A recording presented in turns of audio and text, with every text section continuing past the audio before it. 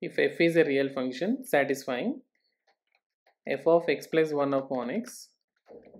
is equal to x square plus 1 upon x square for all x belongs to r minus 0 means except 0 all real numbers we can consider. And so this function f of y x plus 1 upon x can also be written as x plus 1 upon x whole square minus 2 into x into 1 upon x since we know that a square plus b square is equal to we can write it as a plus b whole square minus 2ab so which equals to x plus 1 upon x whole square minus 2 so f of x plus 1 upon x is equal to x plus 1 upon x whole square minus 2 so which also implies that f of if I can replace x plus 1 upon x as y so let us write x plus 1 upon x is equal to some y. So f of y is equal to y square minus 2 and let us define for x belongs to r minus 0 what happens to y?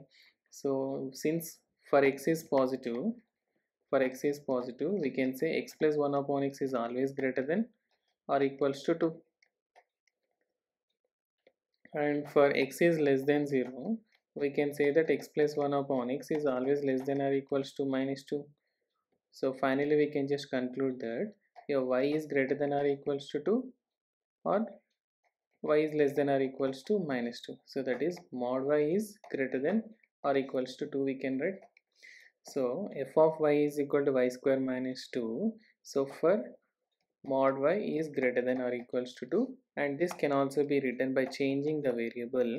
f of x is equal to x square minus 2 because he is asking then write the expression for f of x. So just replace in place of y as x just changing the variable f of x is equal to x square minus 2 so for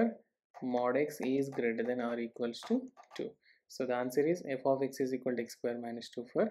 where mod x is greater than or equals to 2 okay right thank you